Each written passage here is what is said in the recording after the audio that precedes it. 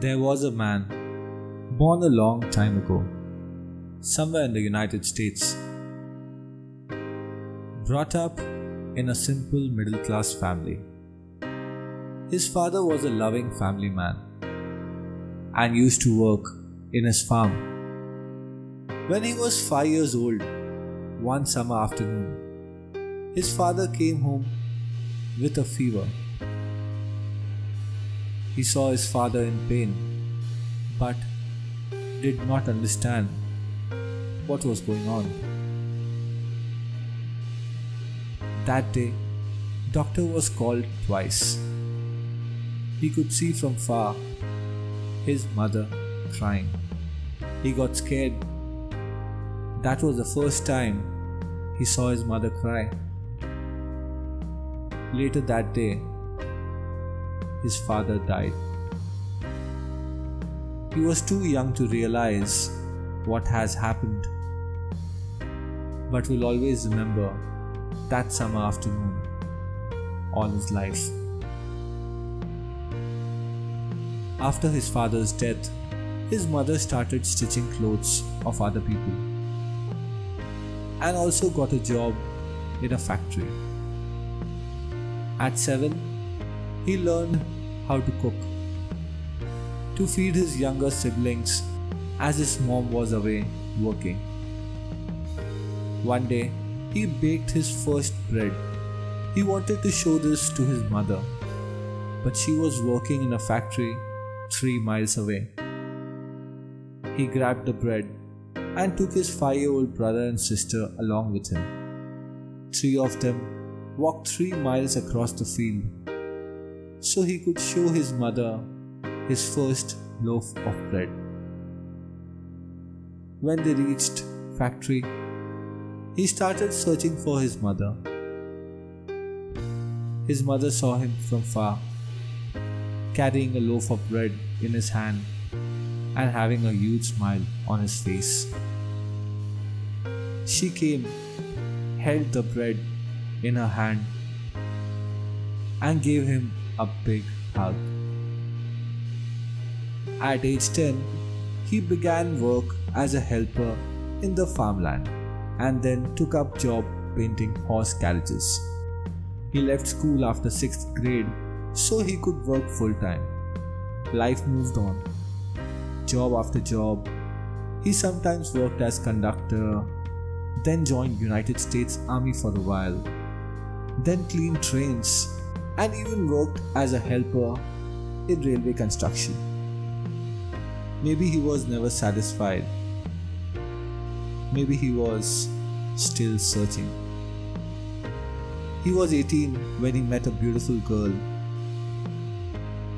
They both fell in love, soon got married, and had three beautiful children. But one day he got fired from his job.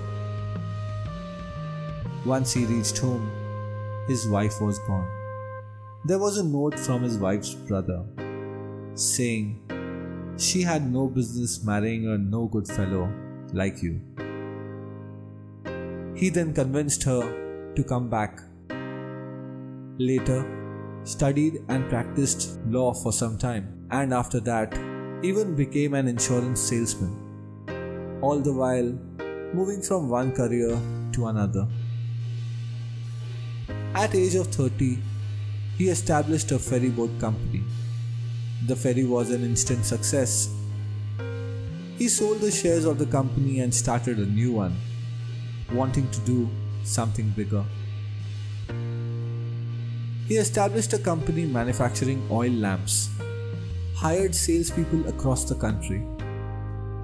The business initially started well, with some new orders coming in every day he felt, yes, finally I have made it. But destiny had some other plans. A company named Delco introduced electric lamps and the venture failed.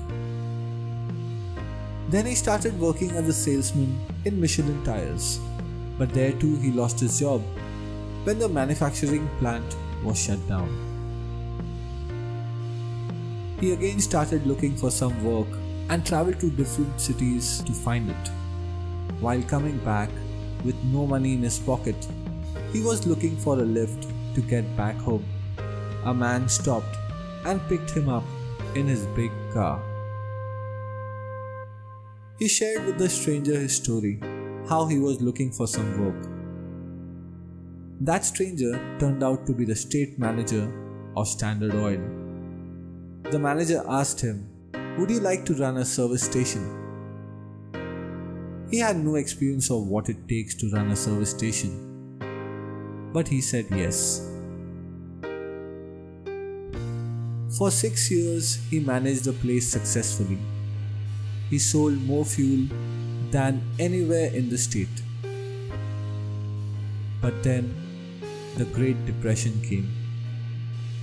His station closed down, like many other businesses at that time.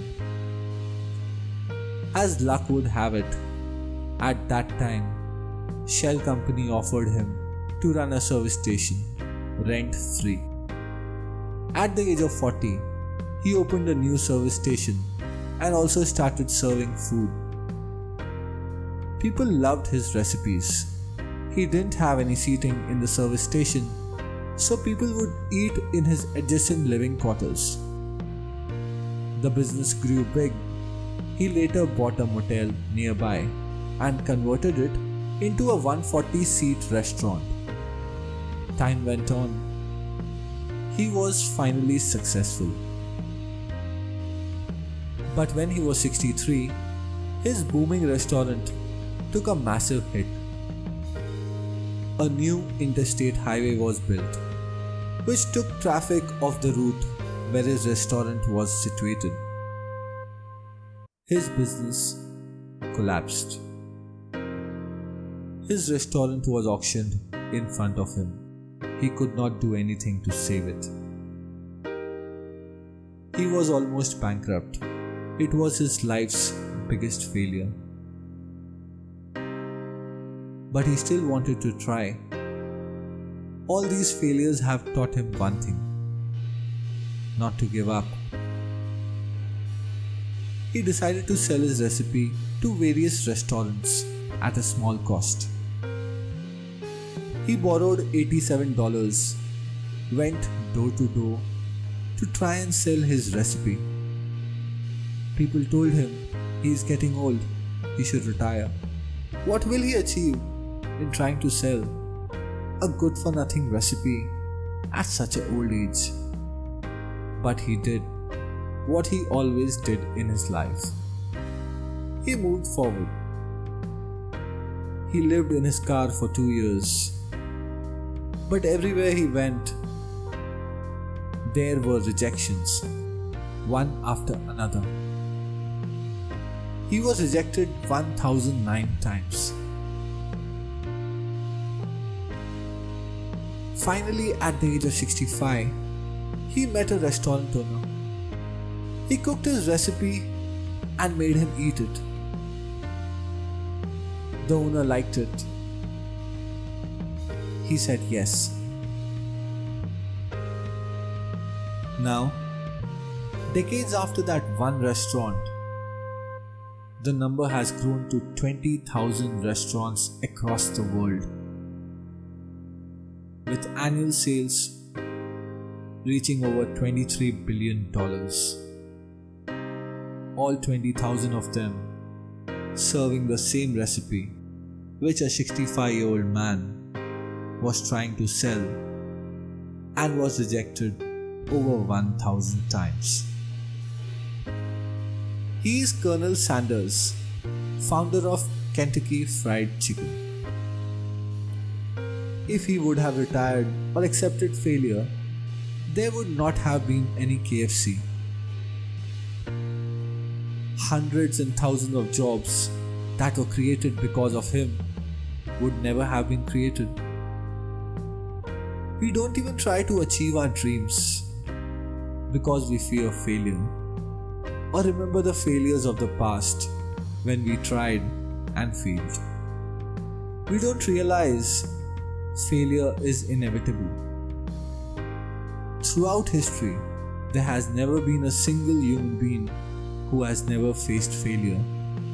So, why should we fear what is and what always will be there? If your heart is pumping, if your mind is ready to accept challenges, it's never too late to try to achieve your dream. It's never too late to learn something new. It's never too late to experience something beautiful. It's never too late to keep on trying, no matter how many times you fail.